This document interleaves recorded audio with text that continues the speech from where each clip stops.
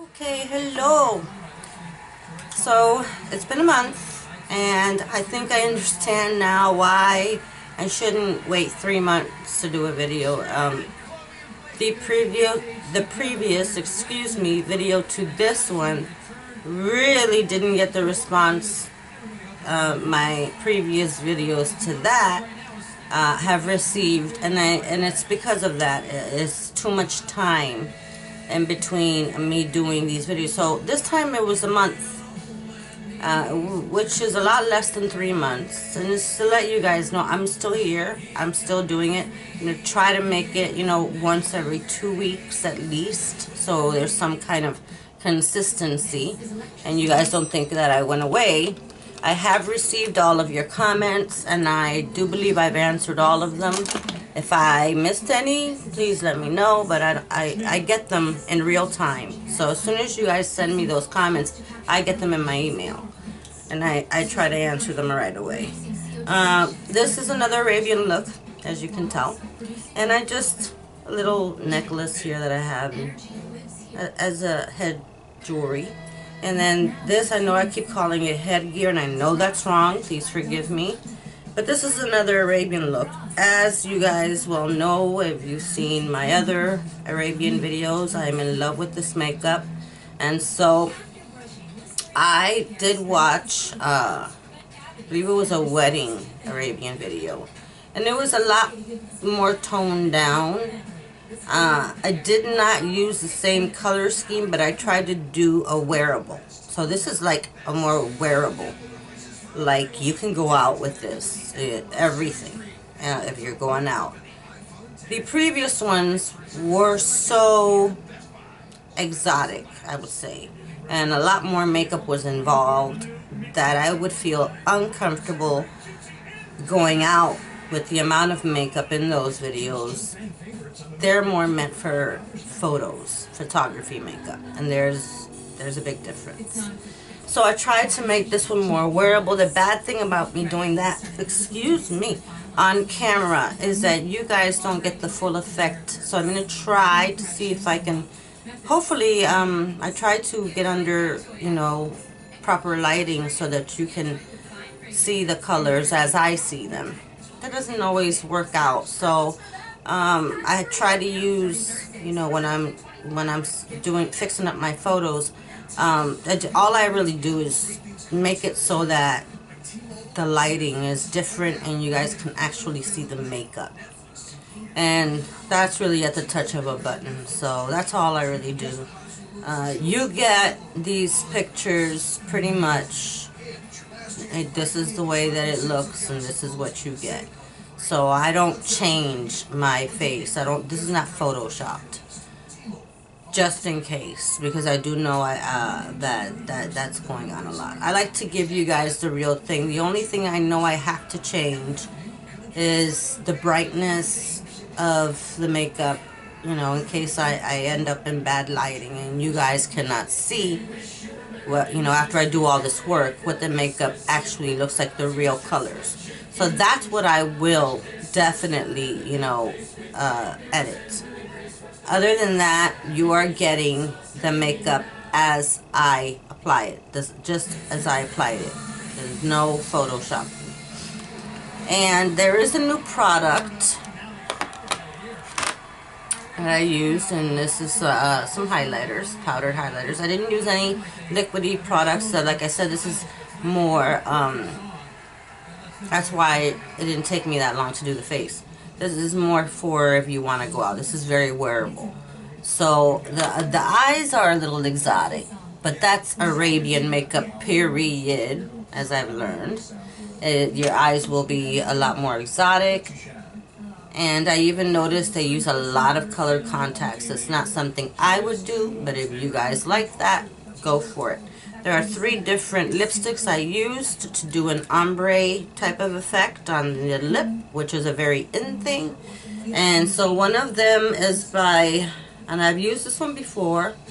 Uh, it's very matte. It's called Matte Glam, and this is by Milani. And then the highlight one, the one that went in the middle, is by Wet n Wild. And um, it's got a number on it. I can't read the color. It's, it's just got a number. It's very, very light pink. And it's a little glossy. And then this one here is by NYX. And they have a whole set of these. I, have spoken about these before.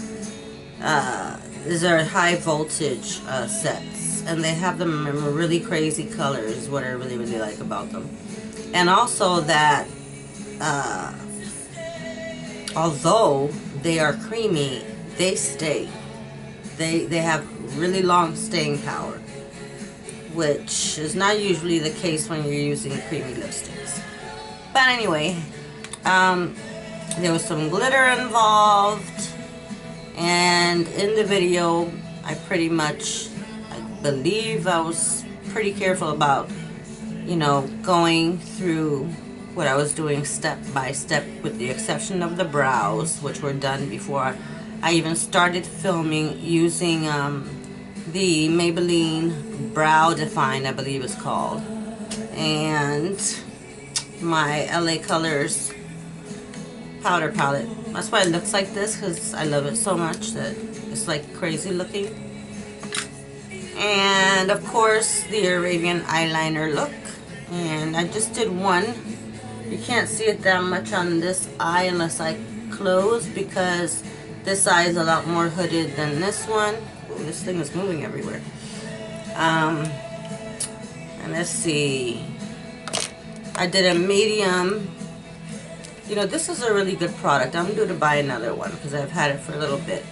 But this is medium to full coverage and, and, and it gives you a very nice velvety finish. This Lumi Cushion Foundation.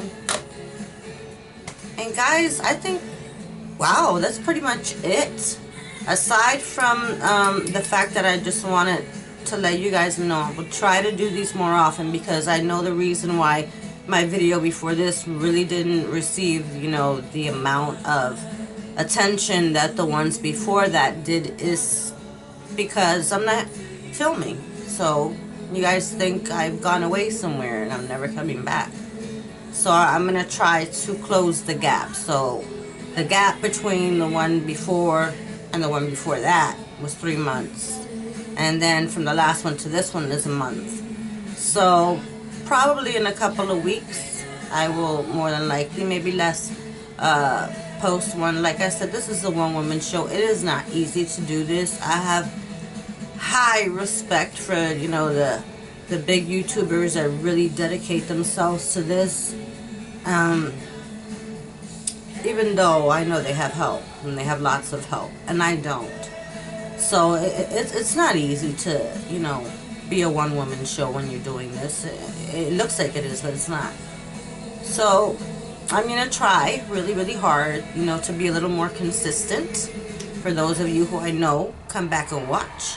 And I don't know if I've already said this. Yeah, I think I did in the beginning. I have received all of your comments and I love receiving them. Please don't stop. I, I love, love, love the interaction. So please keep doing that because it lets me know that either you A are enjoying this or B you're not. Either way, as long as you're not nasty about it. And guys, I, I honestly think that's it. If I've missed anything, I will I will mention it in my narration. And until next time, bye-bye. And thanks for watching. Okay, so here we go. Obviously, I am preparing my lids. And again, that is a NYX concealer. I use that in just about every video. So for those of you who are new, this is a NYX concealer. NYX does have their own bases. Um, I personally just like the concealer better but you can purchase your own NYX base for pre-eyeshadow uh, application. And I am using a concealer brush to do this, synthetic brush, and that is under the eyes because I will be putting eyeshadow there. And then here is the Age Rewind concealer I'm also using um, this is a nice dupe for the concealer I was just using, and that's really what I'm trying to show you by using both. And then this is an LA Colors um, blending brush. It's a big fluffy brush and starting with my first transition shade which is a very light tannish color from my Morphe palette. I'm, I'm going for a really round, rounded shape which is why you see me going so much outside uh, the eye space, uh, where the eyebrow ends. That's about as far as you really can get away with going with your eyeshadow. And then this mauve pinkish, tannish color. It's a beautiful color. Um, it's got pink undertones. And that sort of is like a secondary. It's going to darken up the the upper part of my socket area. So this is all still above the crease and again under the eye. That's why I'm still using the big fluffy blending brush. It's a large area I'm, I'm still working in. And then I'm going to take these two colors, and this is from the BH Cosmetics palette. And that was like a sherbet along with an orangey shade. And together they make like this very pretty, again, um, pinkish orangey type of shade, as you can see. And then I'm getting really, really close to my lower socket area here. So I'm blending each color into the color before. Making sure that you have no hard lines and creases in your shadow. So take the time to blend. Again, that color goes under the eye. And then I'm going over that with a very light tannish shade, just the, the, the seams of all of the makeup. And that's just to make sure, again, I have no harsh lines anywhere. You can also just do that with a clean brush. And then on the brow area, I am uh, putting that light pink shimmery shade. It's very, very pretty. Got a, like a metallic um, texture to it. And then again, you see I'm going over the the reams or the ends of all of my shadows. I did that after I clean the brush, after I put the brow bone shade. And now I've dipped this, and you see I'm using a different uh, brush, and it's also a lot smaller. This is a brush by e.l.f. It's a little bit angled and it's the equivalent to your MAC, I think it's the 217 or 214, one of those. And those were two pinks that when you combine them are more like a reddish shade. Like a really uh, poppy, cherry reddish shade. And then using another e.l.f., this is a big blending brush, I am, of course, blending everything out. I take a lot of time doing that. I cut that out of the video because it was already long enough, but I, I take a good amount of time blending and going over everything. And I apply each color at least twice, no less than. And that, of course, is because I'm on camera and you guys need to see. Now this, I've dipped into a brown. This is a very pretty brown because it's got a very rich texture to it and so I, I believe that it's got an undertone to it and I believe the undertone is a reddish or an orangey undertone and so I'm putting that in the same area where the pink is so I'm blending that right under uh, the reddish hot pinkish colors so you can see I'm combining and you can see the richness of those two colors especially the one on top so I believe there is a reddish or an orangey undertone in that color. Makes it very, very beautiful. I am now using a pencil brush. This is by e.l.f. because I'm working in a much smaller area. And this is to create definition and drama. To give the eye that shape at the end. And since I'm going for that more rounded eye, which is not really, you know, the shape I usually go for because of the shape of my eyes. But in this case, I, I think it came out quite nice. So I do this again several times and then I'll go over it with the fluffy blending brush just in that small area and blend all of that out. And I'll do this a couple times, several actually in my case. Again, the reason is I need intensity. Um, if I were just putting on this makeup to go out, I'd probably just do it a couple of times and leave it at that. So again, the same thing. It's just doing it a couple of times and perfecting my work. I'm a perfectionist, so, you know, I'll go over things. And please excuse the state of my hair. It's so gross. I mean, I just, I didn't even bother combing it out to do this, as you can see. And so again, blending, but this is not a, a video about hair. This is what we all look like when we're trying to get ready to go somewhere in our bathrooms. So, um, it's just, I'm, I'm, I'm now noticing it. And um, now I'm going to dip into that really, really bright, like violety, loud, poppy purple. And I'm going to blend that into the brown. And that makes for a very, very interesting color there. So I kind of like, I don't know, I liked it and I kind of like made up my own little color there at the ends. And I think it looks really, really pretty. It's like you can, when I turn my face, you can see both colors, the brown and the purple. So it's, it's really pretty. And so here goes the alternative way to not using the pencil technique to do a really a, a, a really defined cut crease. And here with my NYX concealer, I'm just concealing um, the areas up to the part of where my shadows end as neatly as possible. And then you'll go over that with a clean concealer brush and just um, soften out the edges.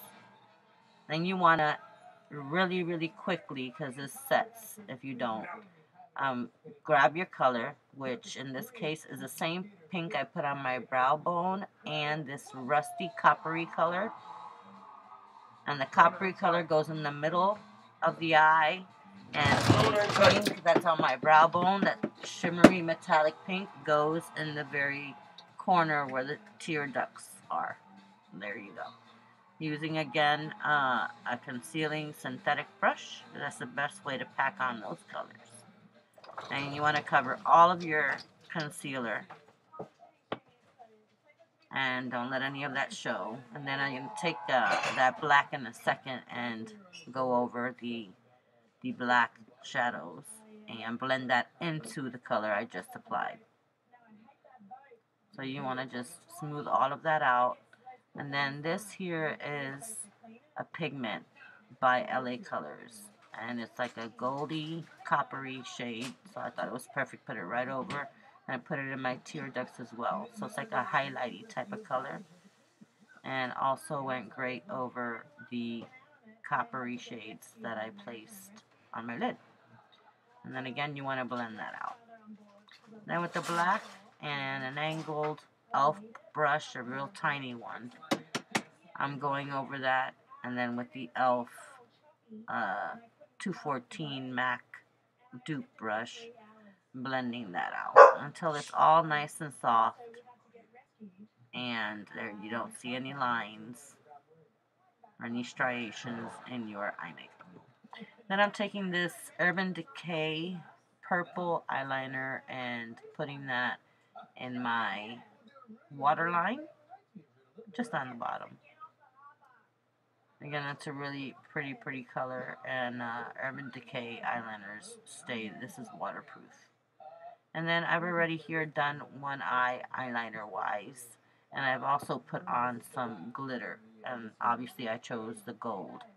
And that's to intensify the copper in the middle and to mimic the Arabian look. They always use some kind of glitter. So using a Q-tip, I am applying that right over the coppery shades. I'm careful not to go out because if you do, then you're going to have to grab your eyeshadows and, and redo your shadow. So just stay within bounds. And then using a this brush came with the Maybelline. This is the um, Maybelline gel eyeliner that I'm using, and that brush came with it. And I'm starting with that, and then I use this e.l.f. angled brush for more precision. And this is going to be the Arabian eyeliner look. So this is the best brush for me to, to get that effect. And then using the e.l.f. liquid liner, I finished that off and it's got, of course, a, a very big, like kittenish um, uh, eye at the end where it's got that long flick at the end.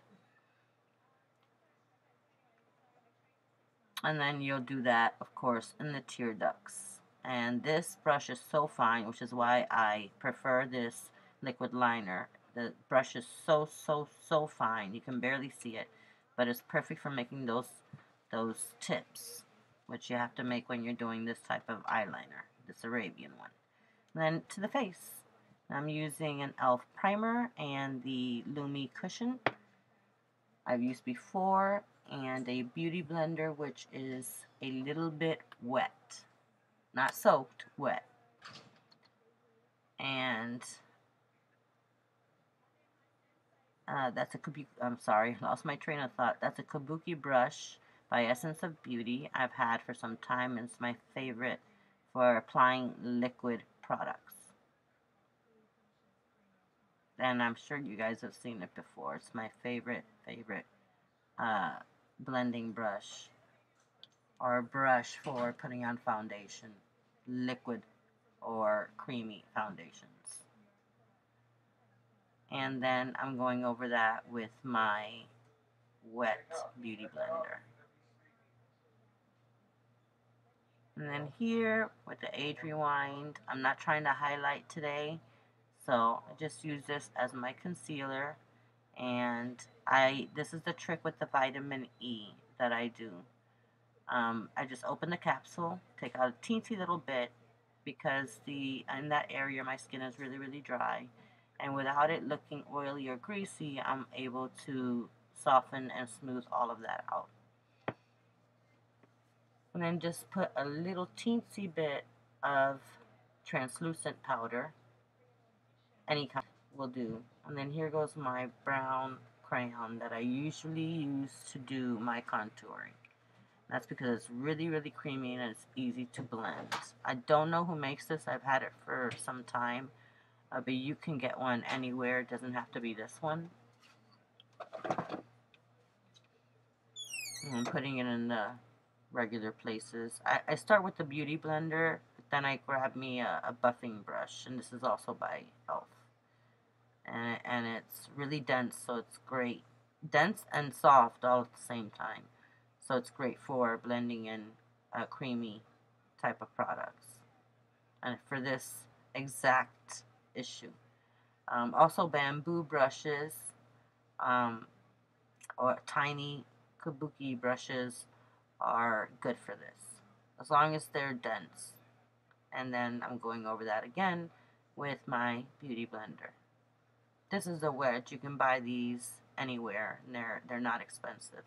And then this is a highlight stick that I have. And it's kind of like uh, pinkish. It's very shimmery, so you can barely see the pink in it. It's just a nice highlight. And then I'm going to go over that using my favorite fan brush with the Milani uh, highlights. And I use two to start. Both of the ones on the ends.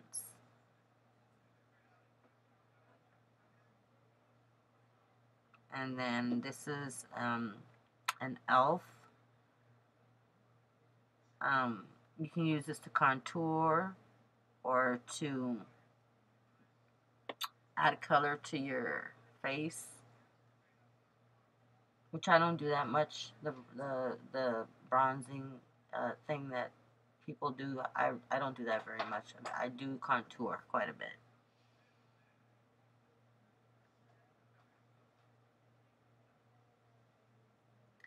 And then with the Artisan, this is like a winey, almost reddish blush. I've used this as eyeshadow many, many times. There goes the bamboo kabuki brush I was talking about. And um, EcoTools, I believe, makes those. And then I'm gonna use the middle shade of the Milani highlights. So I've now used them all for a lot of highlight. I love highlight to the face. So my face is very highlighted. And then to the lips. And these are the three colors I spoke of. This is Very Matte by Milani. And it's a, I don't know what it's called, but you can't miss it because it's very, very purple and matte. And it does say so. And then with a purple liner, getting everything nice and perfect. I have very funky shaped lips, so I, I have to do this couple of times before and after. And then this is the Wet n Wild light pink that I use as um, a light color or highlighty type of color. And then the next cream neon purple right over that. And guys, that's pretty much it. Um, except for I do put a gloss over this by LA Colors, just right in the middle of the lip. Go over it with some more liner to perfect it. And here it goes. It's, it, it's a pinkish, but it doesn't come out that pink. And I will see you guys in a couple of weeks. Thanks for watching. See you soon.